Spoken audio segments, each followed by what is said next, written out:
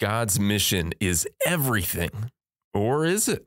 This is very fundamental when we talk about mission, and that is the whole concept of doing mission without gospel. J.D. Payne says this We now live in a time when the church thinks of itself as doing missions, even if the gospel is never shared. Now, that is absolutely prophetic. And people want to argue with us about the word mission and missionary. Frankly, I, I don't want to argue over the word when Jesus has made it abundantly clear, without using the word missionary, that we are called to make disciples of all nations. And I think we now do missions and we call it that, even when the gospel is never shared. Matt Ellison and Denny Spitters return to defend why every Christian isn't a missionary and how we're supposed to live if that is true today on the show.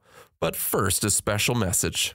If you're a regular listener to this show, we wanted to say thank you. Without the Lord's help and without you, we wouldn't still be doing this.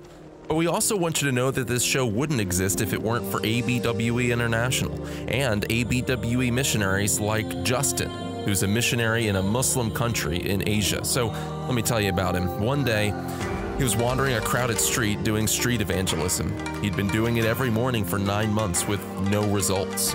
He was discouraged. He sat down at an outdoor coffee shop. Local men crowded the table, fraternizing before the start of the workday. Justin tried to start a spiritual conversation with the Muslim man seated next to him, and the man, disinterested, walked off. But before Justin could even process the rejection, he heard a voice speaking to him in broken English. The voice said, You said sins forgiven. How? It was another Muslim man who had been sitting next to him who was listening silently the whole time. Justin, knowing the dangers of doing evangelism openly in this country, started to whisper to him about Jesus. They crept closer and closer until they were inches apart. They were looking around for danger the whole time. Justin whispered the gospel into this man's ear, and the man grabbed him by the shoulders, pushed him back, and said, Many of us want to know this message, but we're not allowed to ask.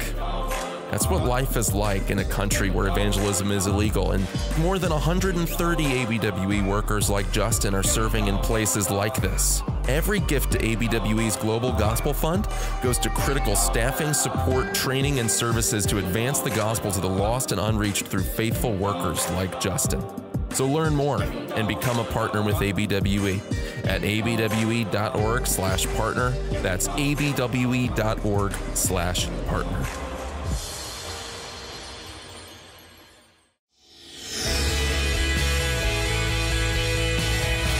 Welcome to the Missions Podcast, the show that explores your hard questions on missions, theology, and practice to help goers think and thinkers go. I'm Alex Kochman, Director of Advancement and Communications with ABWE, joined by my friend Scott Dunford, pastor of Redeemer Church in Fremont, California, and he does some ABWE stuff on the side. There you go, Scott. I'm trying to simplify and shorten your introduction there a little bit. I like it. And we've been doing this a while, actually, and the intro has changed over the years. We're coming up on 200 episodes later this year, actually, which is exciting. But the reason that I mention that is because, man, going back into the archives, thinking historically, you know, ancient history, 2018, um, when we were just two good old boys just trying out a podcast, talking about missions and talking about theology and those sorts of things. Uh, we had some guests on, didn't we? And they wrote a book that influenced us. Uh, but we want to reset that conversation today, right, Scott? Yeah, it's great to have Denny Spitters and Matthew Ellison back with us. They wrote the book When Everything is Missions. Um, both of them have a lot of experience in local church and ministry. Uh, Matt Matthew is the the president of 1615, and maybe he can talk about that a little bit more at the end of the show. Uh, church missions coaching, and Denny has been serving with pioneers for many many years. Uh, veteran missionary and and missionary leader, and uh, vice president of church partnerships for Pioneers USA. Unless something's changed since we last talked, and uh, we're so glad to have you guys back on the show. Welcome. Uh, how, how are things going for you guys? Are you down in Florida, soaking up the sunshine, or or some part, some remote place uh, somewhere else in the world? No, no, no, no. Yeah, definitely in Orlando here. Um, yeah, the sun is out as it is many days, and uh, uh, yeah, it's a beautiful day. Um, about 85 degrees today. So wherever you're at, um, that's what you get to compare to. And I'm in Albuquerque, New Mexico, so I'm in the high desert and we're not quite 85. We're probably high 70s. It's beautiful here as well. Scott was just here in Pennsylvania with me last week, and uh, yesterday was 80 something, which was, uh, you know, a little bit unseasonably warm. So I, I can kind of feel the way you guys are feeling. Last week it snowed just out of nowhere, just this freak snow.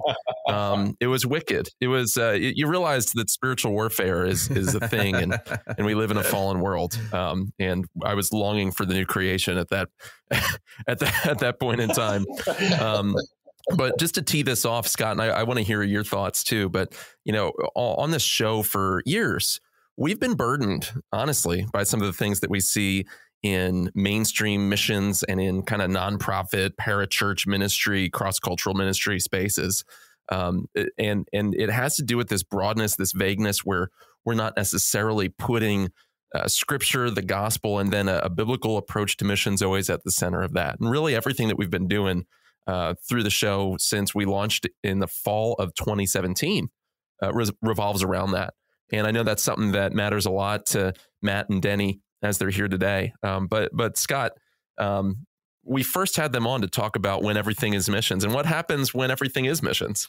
you wanting me to answer that question? I don't think I should. I, I am. we've got that. uh, it's been five years since the book has come out, and uh, it's been a couple years since we've talked about it. You've come out with a new book called Conversations on When Everything Is Missions, and I'm I'm curious what's been the reaction. Um, I know that people are talking about it because I see who you've got listed on your on your uh, on the the new book who, who are writing about it, and I know it's been a constant conversation piece, even in my doctoral classes uh, that I've been taking at Midwestern in missiology, this topic was probably the most controversial thing that we talked about mm. of, of, even defining what is missions and who is a missionary. So, um, what from your from your guys' perspective, what's been the reaction? How about you go first, Denny? Sure, sure. Uh, so, um, you know, we've had some great conversations with others about this. You know, we find that obviously that some of this is kind of preaching to the choir in the essence that it's reminding people, hey, this is a significant um, and important thing uh, to define mission very well and clearly and know what it means. And on the other hand, we've we've had some, I'd say, limited pushback to some extent. Um, mostly, it's got people kind of talking and thinking about it, which was our aim at the beginning we believe very strongly that the church, both Matthew and I have served in in multiple churches and in served in coming along church uh, alongside churches and encouraging them. And we believe wholeheartedly that the church does not do missions well because it doesn't think about missions very well. Yeah. What about you, Matthew? Uh, so the response to the book has been very encouraging. Uh, I believe about 15,000 units are out there right now, and we've gotten feedback from people who've read it and said, wow, this is exactly what I was thinking, but you put all the language together in such a way that it really resonated with me. And then I would say that other readers have been provoked and it's created some disequilibrium. And, and that's really what we were hoping the book would do. It was it would create tension in the hearts and the minds of readers, and they would then appraise whether or not their understanding of missions is shaped by the Bible or shaped by something else. I think of one pastor in particular. Uh, Denny knows this story. We're, we were at an event in Albuquerque, New Mexico, and we were conversing with this pastor, and he immediately pushed back on this idea that not everyone was a missionary because lo and behold, and no surprise, he'd been telling his congregation, You're all missionaries for years. And so he was really rattled by this idea that this was not a biblical concept. And uh, we had the opportunity to meet with him the following day and he had read our book. He devoured it that night, and he goes, "You know what? I'm convinced." Hmm. He said, um, "I've been calling everyone a missionary, but I didn't really mean it." He said, hmm. "I've read your book now, and what I hmm. meant was everyone's a witness. Everyone should be an evangelist, but not everyone is a missionary with this sent out apostolic calling." And so, you know, what's the response been? I think the usual suspects have just soaked it up and they're using it to help their missions teams and others think well about missions. But it, it's had it's had a provocative effect as well. Mm. What's something that surprised you in some of the responses? Um, have there been people that haven't latched onto it that have been really vocal in in saying no, everyone every believer is a missionary and here's why or or eh, have there been other responses? Things that you didn't expect in response to the book in response to that central concept which for for those of our listeners not overly familiar with the first book i mean the premise is hey if everything that christians do is missions then nothing is. I mean that's what we're talking about here. What surprised you in the response to that? One of the bigger surprises has been the people that are vociferously opposed uh, tend to take shots through social media rather than engage in the process. It's very, ref- uh, I suppose I shouldn't be surprised. It's very reflective of the way that we now communicate, mm. which is pretty unhealthy and very unhealthy for us in the church uh, specifically. Um, and so I think that um, often um, that people bump up against something that maybe for 20 or 30 years, as Matthew says, is, is now causing disequilibrium uh, for them and it rattles them. And uh, so rather than engage and have a conversation about it, actually, um, it's it's like you know pound it down or or just destroy it and and often it's funny to watch these posts and see where people go with it. And then somebody will say, well, I, I said all this and yeah, I've never read the book.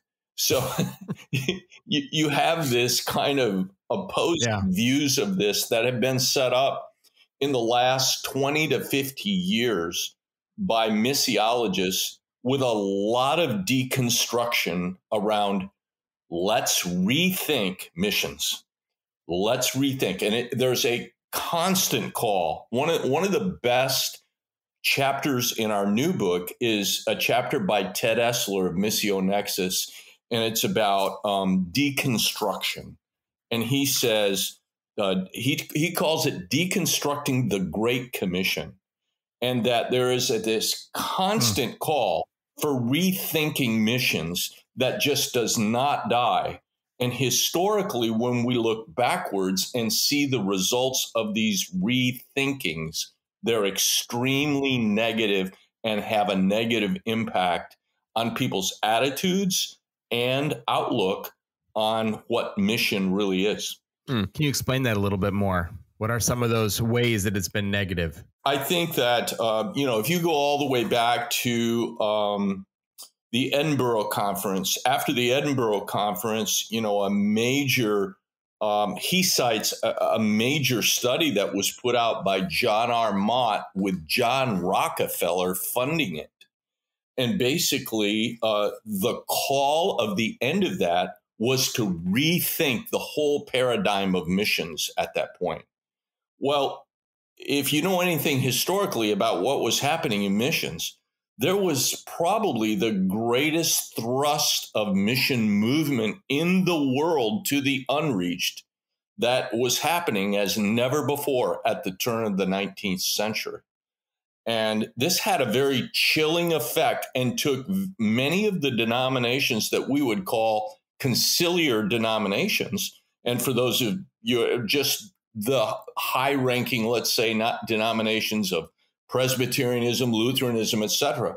And it took them down a path of the social gospel with a rejection of the actual gospel itself. And that's that's a huge shift. So there are lots of times when this rethinking um, really becomes a deconstruction, which we love right now in the social fabric of a of America, and it's it's really unhealthy. Just deconstruction leads to chaos, hmm. and uh, it's it's not really helpful.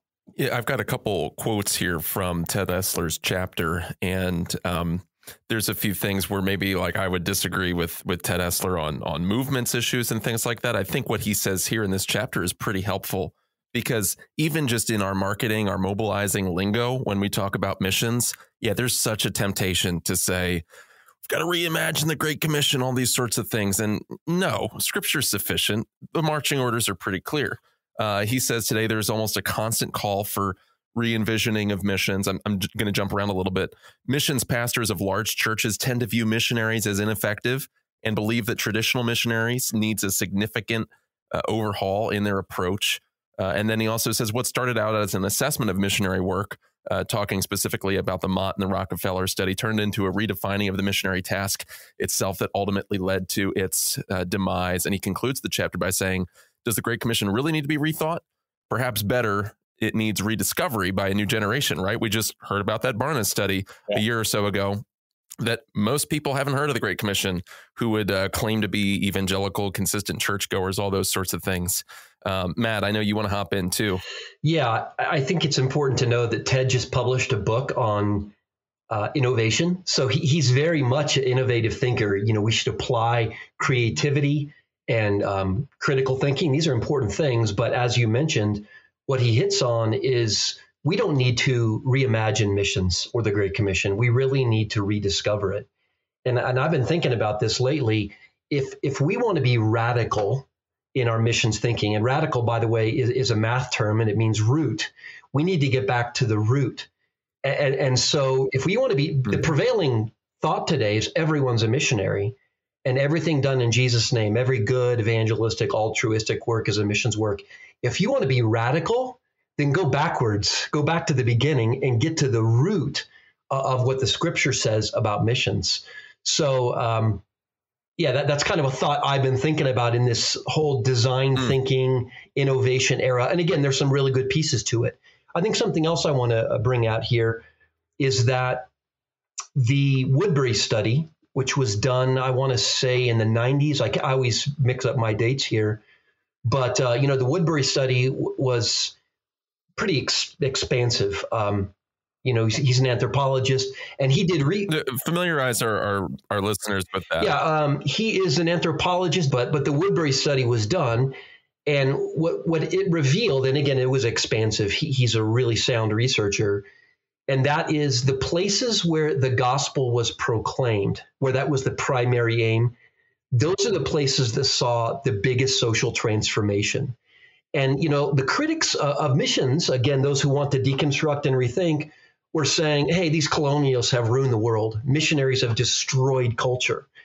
And his study revealed exactly the opposite. Right. And again, the missionaries that saw the greatest transformation with social ills and you know um, inequalities and things like that in culture were the ones that were primarily focused on our ancient message and our ancient mission which is the proclamation of the gospel. You know, I, I, I can't let this go, so I'm I'm just going to dive in here. I'm I'm pretty charged up about this, obviously, but this this is very fundamental to something that's absolutely critical when we talk about mission, and that is the whole concept of doing mission without gospel probably the one of the greatest statements in our second book and there's some great people that write in here from you know ed stetzer david platt. I think jd payne's opening um, paragraph at the end has a crystal clear statement that says this we now live in a time when the church thinks of itself as doing missions even if the gospel is never shared. Now, that is absolutely mm-hmm. prophetic and prescient. And it cuts to the core. People want to argue with us about yeah. the word mission and missionary. You know, frankly, I, I don't want to argue over the word. I don't see how we're going to lose the words because everybody that wants to redefine and deconstruct it comes up with things that are just as pejorative in terms of how they sound and their meaning over time. Oh, it's colonialistic, et cetera. Well, you come up with the new pilgrims. Well, mm. you know, so why are we spending all this time doing this when Jesus has made it abundantly clear without using the word missionary that we are called to make disciples of all nations. His five commissioning statements make it clear. And I think J.D. Payne nails it. We now do missions when, and, and it's missions, and we call it that when, even when the gospel is never shared. That mm.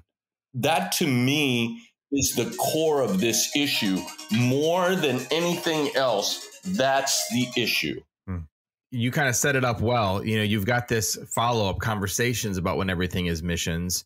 Um, you've already listed some some of the contributors, which are you know some heavy hitters in the missions world, either as as mobilizers or as missiologists and thinkers. So, what was the goal with the follow up? I mean, it was, were there things that were left out, or was it just simply taking the conversation uh, further down the road? Matthew, yeah, book two is a bit of a divine serendipity, if I can use that terminology there we didn't plan on writing book two.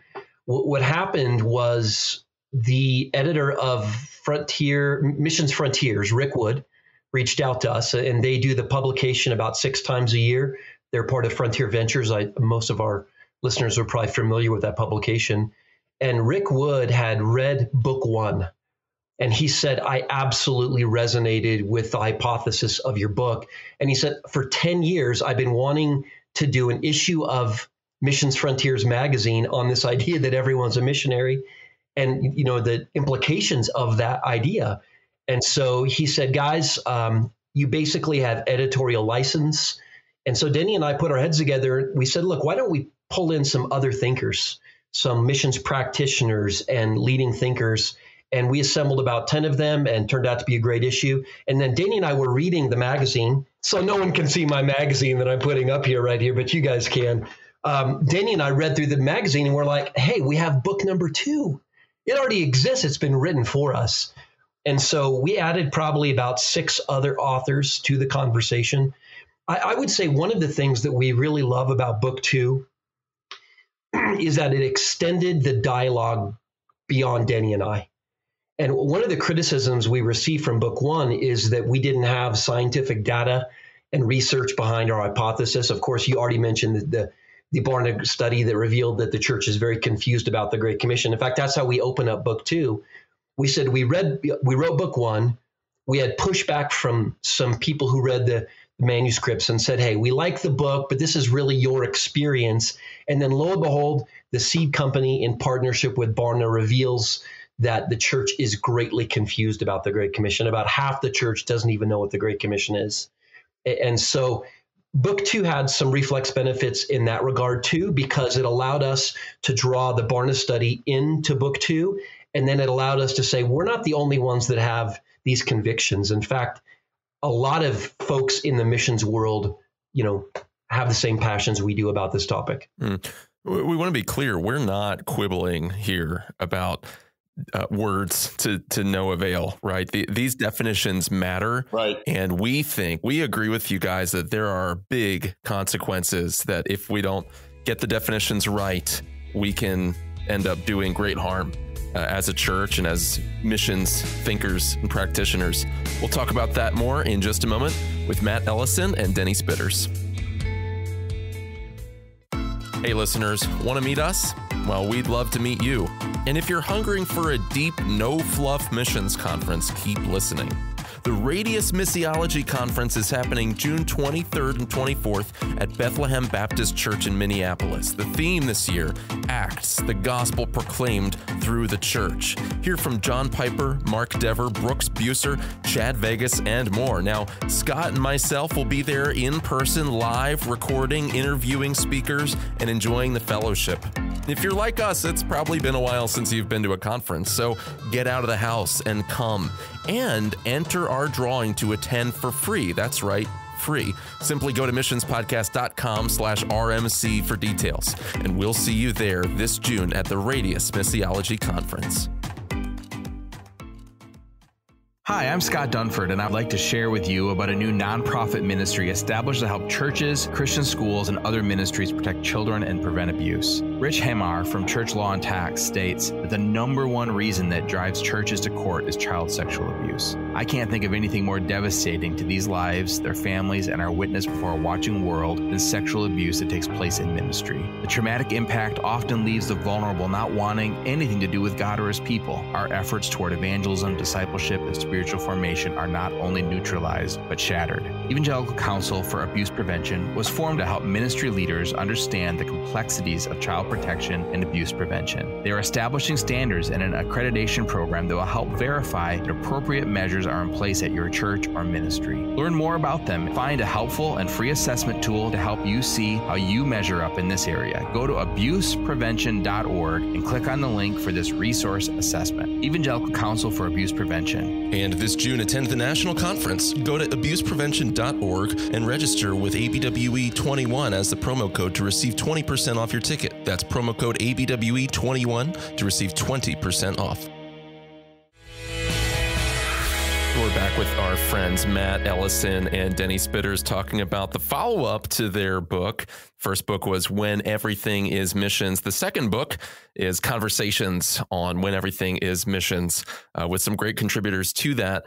We want to dive in a little bit deeper here to some of these definitions. So we we would agree on this show, not everyone is a missionary. Yes, everyone is to be an evangelist a witness, uh, to some extent, a disciple maker, right? Whatever that looks like specifically. Uh, but not everyone is a sent missionary, uh, ordained, called into into gospel work by by a local church and by spiritual authority. We we agree on some of those things, but walk this out for us. So, what is it that you guys have seen as the ill consequences of this that you're trying to address in this second book as well as the first one? What are the consequences that you're seeing firsthand you know what what is the actual fruit of if we get this wrong? Because i think somebody could look at this pretty cynically from the outside and say oh the worst case scenario is somebody thinks they're they're a missionary and they live on mission. Um, is it really that big of a deal? Yeah. I want to mention something before i answer that question and, and that is the idea that everyone's a missionary is well intentioned I, I, I don't think it has malice behind it. I, I think that those who have used that terminology are trying to motivate the people of God to be more active in sharing their faith. That's what they're hoping to accomplish. But it, it really has the opposite effect. I think it's a demotivator. And, and I would say the biggest consequence is that the priority of taking the gospel cross culturally and especially to the unreached gets obscured, um, if not totally forgotten. Because if everyone's a missionary, then you know everything done in Jesus' name is missions. Then the only difference between Algeria and Alabama is geography, and, and you know that's not true. It's about gospel access. So I, I know that Denny's heartbeat and mine, our, our biggest issue with the confusion is that those who lose when we call everyone a missionary and everything missions are the unreached. In fact, there's an article that was written by Rick Wood, and he said if you want to keep the unreached unreached, just keep calling everyone a missionary. Mm. That to me is, is the biggest implication. But there's more. Denny, you want to sound in on that as well? Yeah, I think it has a significant impact on our local churches. We think that this whole conversation, it only has to do with this missionary thing and sending people. It doesn't. At its core is the issue of what real discipleship is we have so wandered off the path of what that means that we now are calling and trying to find terms that will help people do things. Well, we will motivate people if we call everything missional, which it, Ed Stetzer says is very little more than an ink blot kind of Rorschach test, and people choose what they want and maybe don't really get what they need. Right.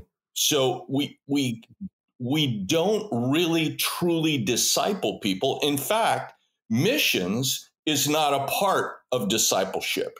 If there is discipleship in our church, that's separate. That's like for people way down the road. I mean, this is so uh, foreign to the gospel, it, the gospels themselves, that it's incredible. And I think, you know, um, when we lost it, we, we lost it by trying to dis- define all of these things and call everybody something to motivate them to do something. I mean, often we're asked, well, then what do we call people? I'm like, well, what Jesus calls us. We're disciples.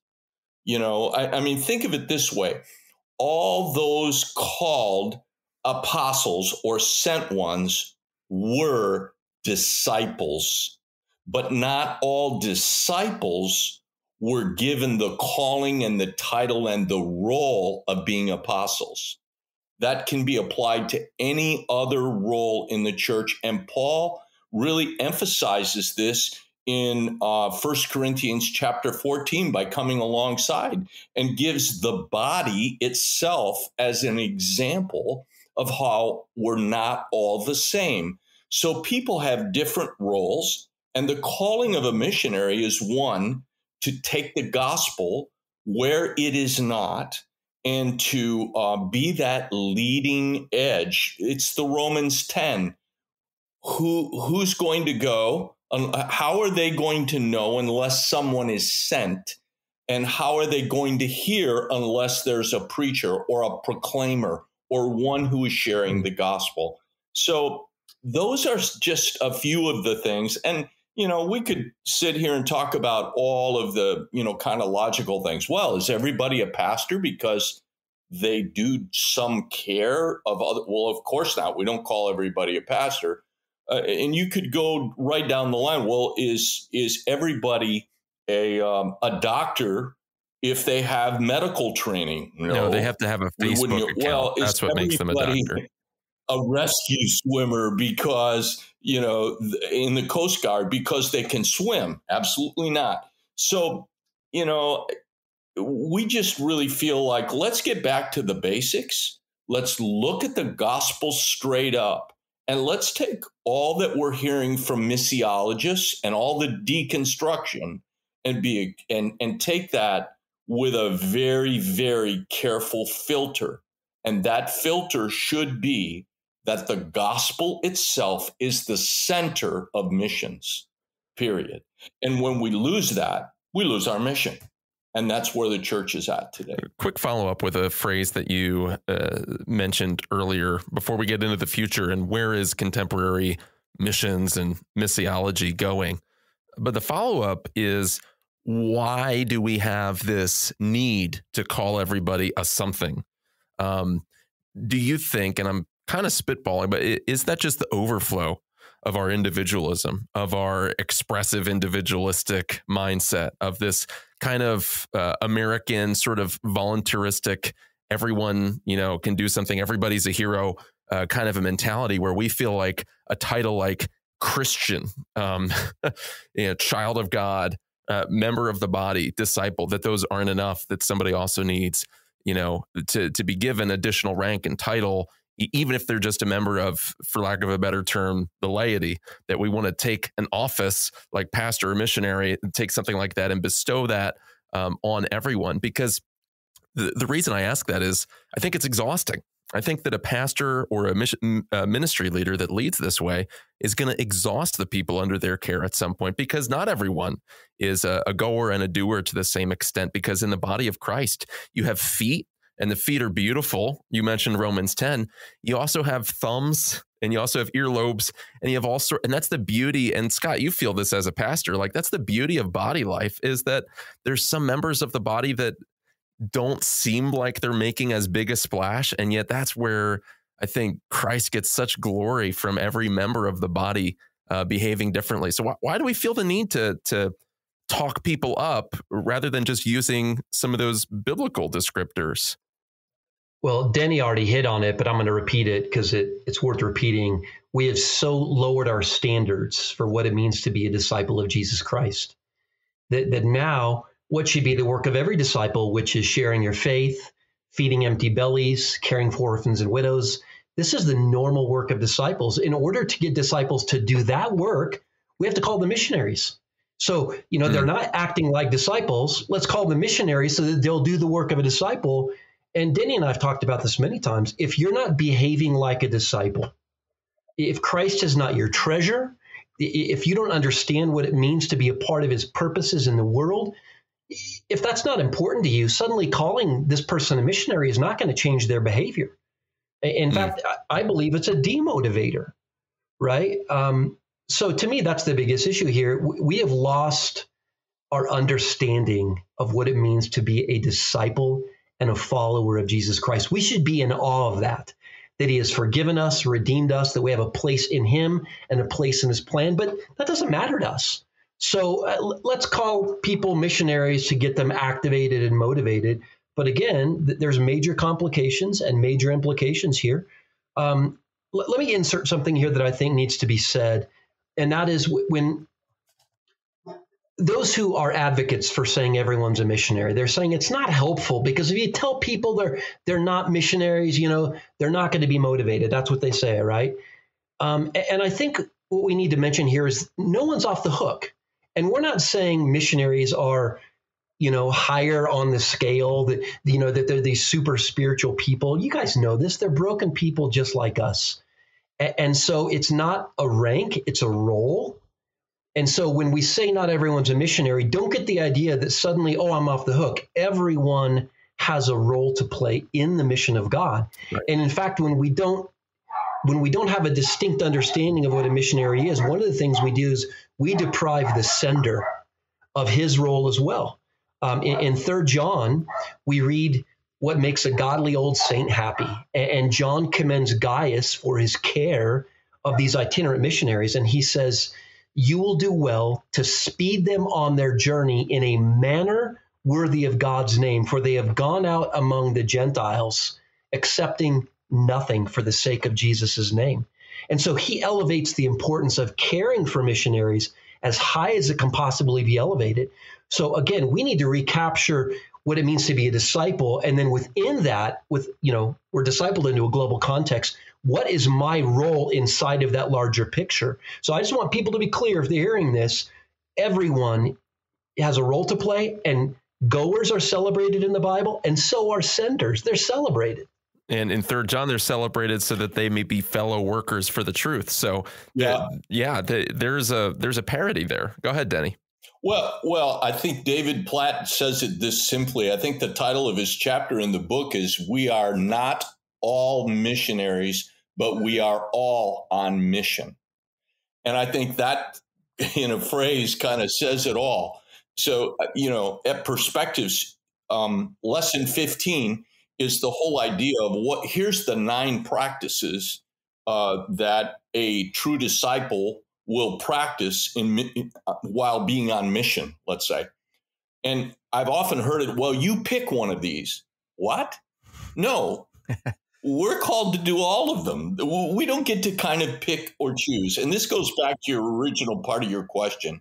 Americans, American culture says we have we get to choose what we want and pick out of the Bible and pull from it and pick from what Jesus says about what a true disciple is. We get to pull from it whatever we want and appropriate it to our own lives our egalitarian individualism has so become has become so narcissistic that that's how we often view the Bible. And I, am sorry, it, it, it's not helpful at all to approach the Bible that way. And Jesus makes it abundantly clear that it's not possible for us to think like that and become a part of the kingdom. It's all or nothing we take everything he says and we do it, or we, we can't just pick and choose. And that's what I find to be most interesting about the whole kind of picture but surrounding this kind of you know oh it's just um, this is just you, it's mm. semantics that's all it is well you know what I, I think it's pretty clear just take the five commissioning statements of jesus and you know, we talk about the Great Commission. Uh, that, you know, the Bible doesn't define Matthew 28 as the Great Commission, but you take all five commissioning statements post resurrection of Christ that he gives to his disciples and to us as the church, it is very clear what our mission is. Why don't we do it? Why, why are we not engaged in it? That's the question that we have and that we want to bring forward in the book as people wrestle with, you know, all of these uh, different ideas of terms and what they mean. Well, as we wrap up today, thank you guys for joining the show. I think this is helpful and a continuing conversation we need to have. Um, how can people find out more about you, about pioneers, about 1615, and find a ways to find a way to get a hold of the book? Uh, let you go first, Denny, then you, Matthew. Sure. Uh, you know, if people are interested in learning more, um, you know, they can go to our website. Matthew and I have a website called wheneverythingismissions.com. Um, all of the books are there, um, the podcasts. Um, if they're interested in learning more uh, or want a book, that's probably actually the best way to to get the books. I think there are even uh, compendiums put together where you can buy books, you know, together at a reduced price. And um, our goal is is to really encourage people to get the information and think about it. Uh, if they want to reach me or want to learn more actually about pioneers, I loved how this show opened. That story of the guy sharing the gospel in an unreached place was was incredible. And I'm like, sign me up. You know, uh, if you want to learn more about pioneers, simply go to pioneers.org. Uh, if you're a church and you want to learn more about how you can engage more directly, there's a tab for churches. And, um, you know, if you want to contact me personally, um, you know, you, you can find out actually on there and, and, and connect with me. I'm, I'm glad to connect and encourage any churches we can, any leaders we can. Yeah, I, I want to uh, mention the the Woodberry study, which I surfaced earlier before I talk about 1615, if I can, because I totally blew it. Um, I, I, have some cold medicine in my head right now, and so I'm not firing quite like I normally do. Uh, the Woodberry study was done in 2012, and it's called "The Missionary Roots of Liberal Democracy." You can look it up on Google. It's a fascinating study, and, and what he reveals once again is that the missionaries that saw the greatest transformation were the proselytizing missionaries that focused on the proclamation of the gospel and the planting of churches. That missionaries, in fact, do not destroy culture, but historically we see that God uses them to beautify culture. So I want to mention that because I think it's an important read. Uh, 1615, you can visit us at 1615.org. And there's just a, a bevy of resources. I like that word, bevy. Um, on our website, we have webinars, we have podcasts, there's books, and again, if you're a church that is wanting to clarify its global mission, if you're needing help with vision and strategy, that's exactly what we do. We are not a missionary sending organization. We help churches to clarify vision and strategy. Very good. We're so glad you guys were able to join us again on the show. Matt Ellison and Denny Spitters, and they are the authors of Conversations on When Everything is Missions. We'll include a link for that in the show notes. Please share this show with a friend. Maybe there's somebody that you know that's been not biblically informed on some of these issues, and we want to spread the word. Uh, have them go to missionspodcast.com, share this episode, and while you're at it, leave us a positive rating and a five star review in your app of choice. And until next time, Thank you for listening.